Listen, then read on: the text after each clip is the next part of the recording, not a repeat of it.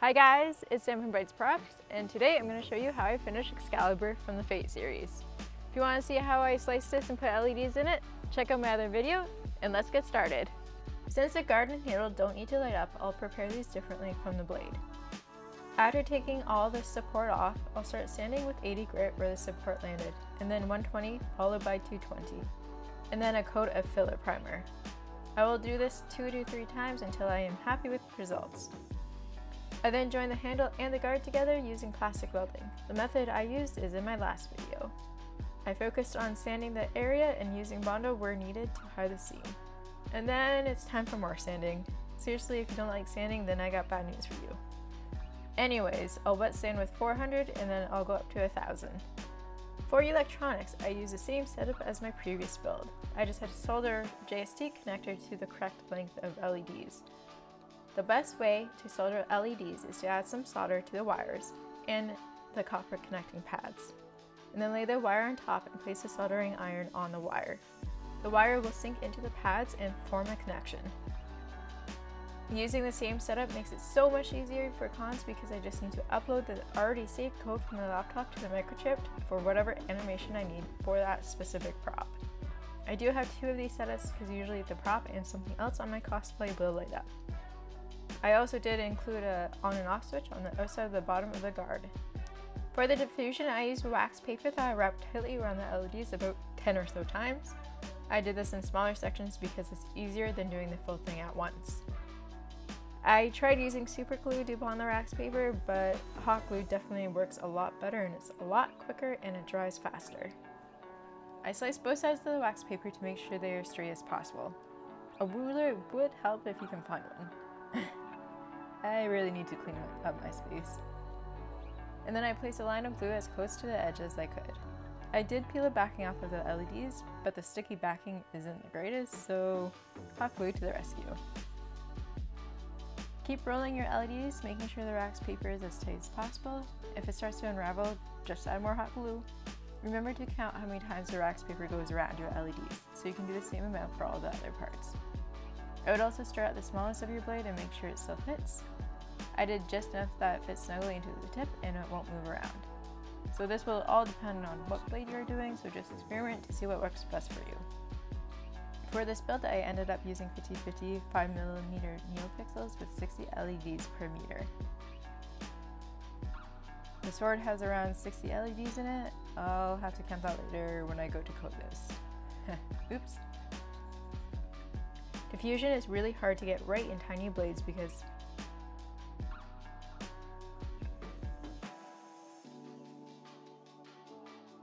to do proper diffusion, you either have to have the LEDs further away, pointing away from where the source is, or have more LEDs in the strip. More LEDs is hard to achieve because you would need a bigger battery source.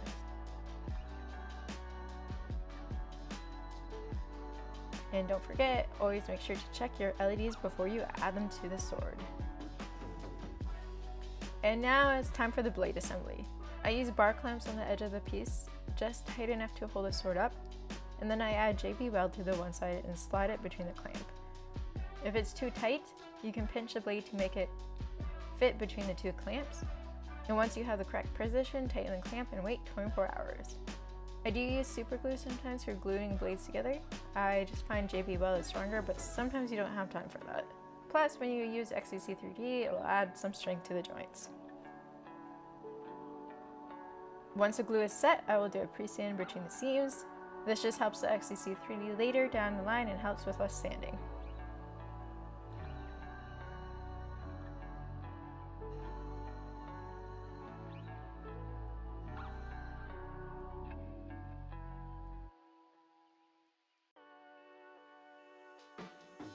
Now it's time to insert the LEDs that were prepared earlier and glue on the remaining tip.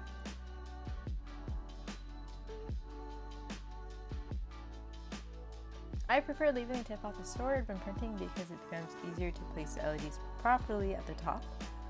The wax paper pretty much holds the LEDs in place so they don't wiggle or move out of the center of the blade, but I did add a dab of blue just for extra security.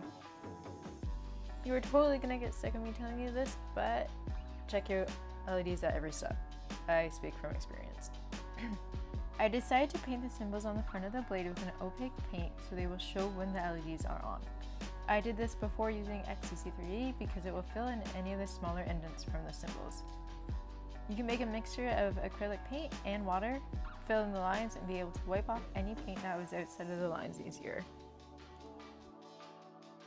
In order to keep the LEDs from moving within the blade, I melted two slits in the edge of the blade and threaded string through.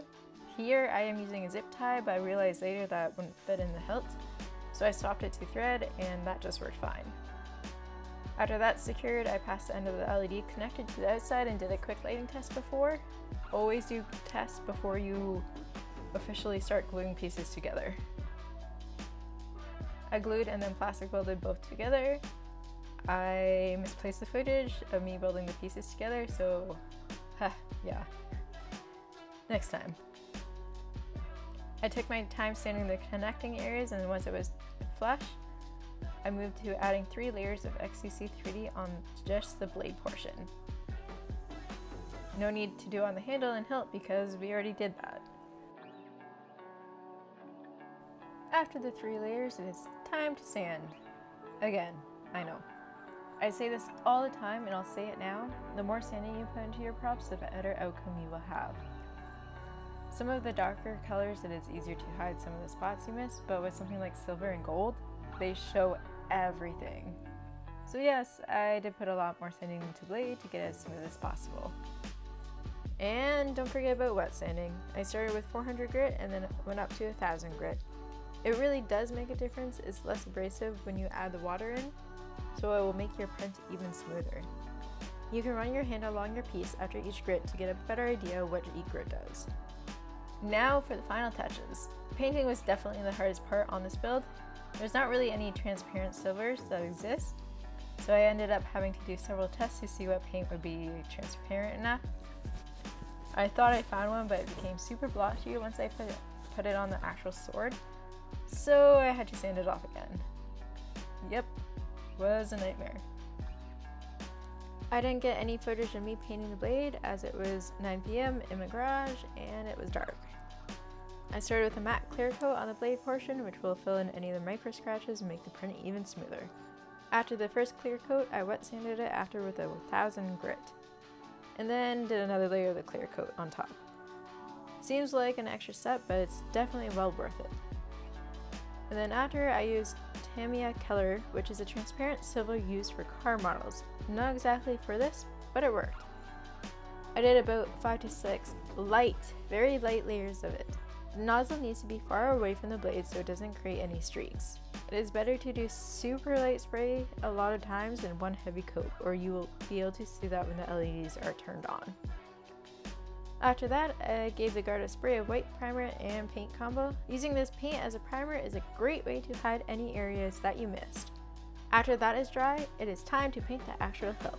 I used my friend's suggestion on using Play-Doh for the smaller areas where it is hard to get tape in. It worked pretty well, just make sure you spend the time making the Play-Doh as even as possible on the sides. But nothing that touch-ups can't handle. I did go back after and repainted the blue because I decided I wanted something a little darker. The blue is from Createx and the gold is an acrylic paint from Cloud FX that I diluted with airbrush thinner. Because it is gold, I did end up spraying a layer black base coat to help with the gold vibrance. After that, I went back to the symbols and made it a darker silver so it's more noticeable when the LEDs are off. And without further ado, here is the outcome.